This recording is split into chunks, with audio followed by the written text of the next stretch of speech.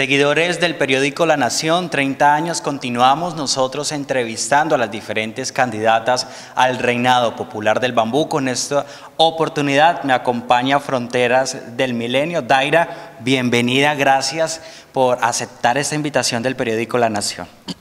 Hola, ¿cómo están a todos? Gracias a ustedes por invitarme y tenerme en cuenta para esta importante entrevista. Para nuestros seguidores que nos están viendo a través de las diferentes redes sociales, cuéntenle, ¿quién es la señorita Fronteras del Milenio? Si hablamos de perfil personal, perfil de cómo soy, yo soy una persona muy amable, muy amorosa, una persona muy paciente, eso sí, tengo un carácter un poquito fuerte, pero una persona muy abierta al pueblo, amante a sus niños, amante a la cultura. Eh, si hablamos de un perfil profesional, yo soy estudiante eh, de Administración de Empresas Turísticas y Hoteleras de la Universidad del Tolima. En este momento me encuentro cursando sexto semestre. Aparte de eso, tengo un técnico en atención integral a la primera infancia y me encuentro laborando en un restaurante de la ciudad de Neiva.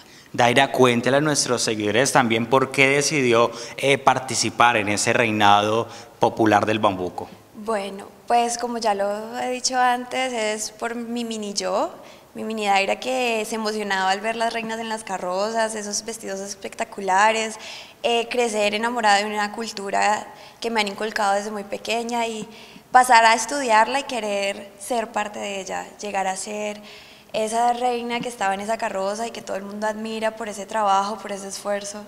¿Qué tal la experiencia por ahora? Wow, eh, ha sido difícil. Es difícil organizar los tiempos, organizar tiempo de ensayo, tiempo de tu trabajo, de tu universidad, eh, luchar con contratiempos como lesiones, enfermarte, ese tipo de cosas. ¿Cuántas horas al día ensaya Daira Sanjuanero Huilense? Daira ensaya todos los días aproximadamente de 3 a 4 horas.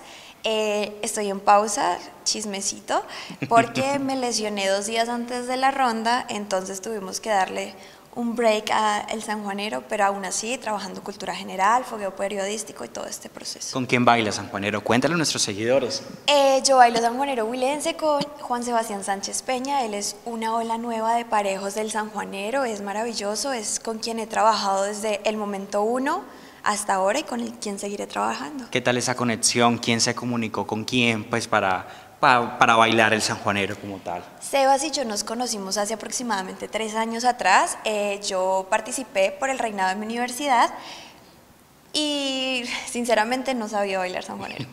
Él fue un ducho y me enseñó sanjuanero en una semana y en una semana sacamos sanjuanero y desde entonces venimos es como, hey, tú tienes potencial de reina, ¿no lo has pensado? Entonces fue como, hablemoslo, pensémoslo, organicémoslo y se dio este año. Excelente para nuestros seguidores del periódico La Nación. Cuénteles, ¿qué tiene por ofrecer el barrio Fronteras del Milenio?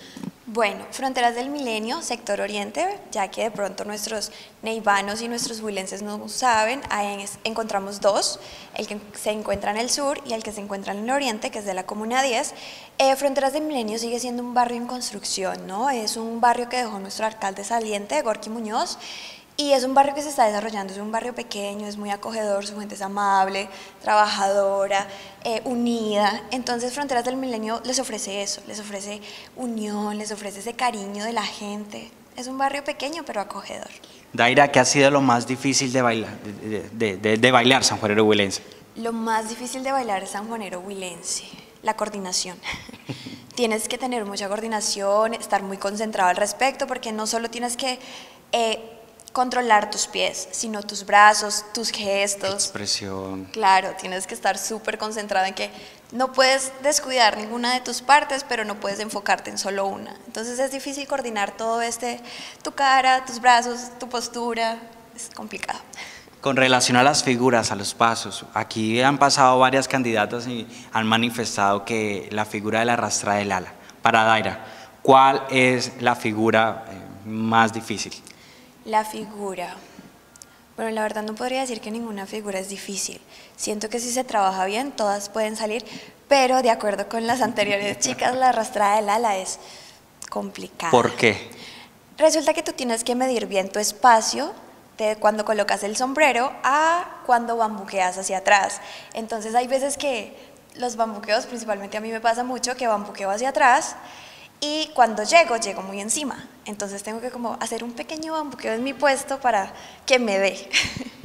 ¿Qué es lo más bonito del sanjuanero huilense? Bueno, el sanjuanero huilense es amor, es pasión, es esa, esa tradición, ese recorrido que trae el sanjuanero huilense desde el momento uno hasta ahora, todo lo que se ha desarrollado, todo lo que ha cambiado. Siento que lo, que, lo más bonito del sanjuanero huilense es toda esa tradición que viene y toda esa transformación que ha tenido en el transcurso de los años desde que se creó la melodía, desde que se creó la letra, desde que se creó la primera coreografía, el primer traje, hasta ahora. ¿Orgullosa de este proceso? orgullosa de este proceso, orgullosa de ser opita, orgullosa, mejor dicho, emocionada, amante de mi cultura, encantada. ¿Por qué Daira debe ser la nueva representante del reinado popular del bambuco? Porque Daira tiene mucho por ofrecer. Creo que soy una chica eh, de su pueblo, una chica que la verdad se entrega a todo lo que hace. Tengo muy buenas ideas al respecto para mejoras, para eh, mostrar nuestra cultura, porque aunque todo el mundo conoce el Huila y todo el mundo sabe cuáles son las fiestas de San Pedro, nadie sabe el por qué. ¿Por qué? ¿De dónde viene esta tradición? Y siento que sería esa clase de reina que daría a conocer a todo el mundo esas razones, ese conocimiento. Daira, un mensaje para esas niñas, para esas mujeres que nos están viendo a través de las redes sociales y, han querido participar en los diferentes certámenes que ofrece este festival, pero que de una u otra forma eh, no han podido eh, económicamente, inseguridades.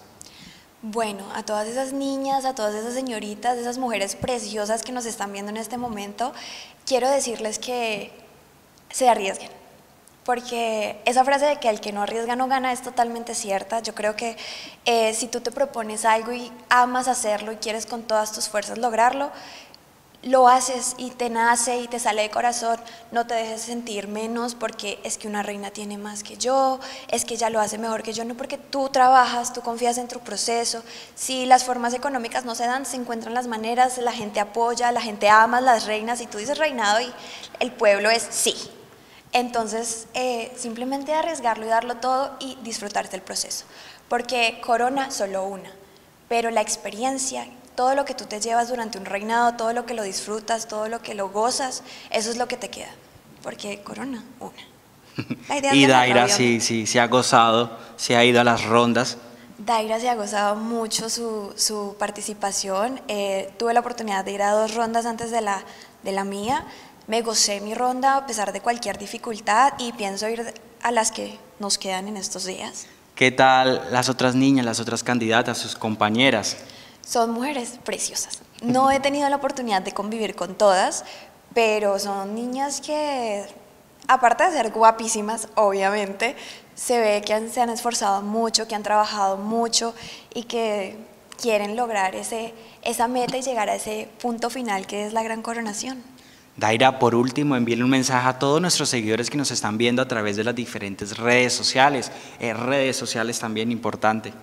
Bueno, mi gente hermosa de Neiva, mi gente hermosa del Huila que nos está viendo en este momento, yo los invito cordialmente a que nos acompañen a finalizar estas maravillosas rondas y aparte de eso, a que nos acompañen en San Pedro a gozar todo este proceso cultural como lo son las fiestas del bambuco. A nuestros seguidores del periódico La Nación, gracias por su fidelidad. Nos vemos en una próxima ocasión.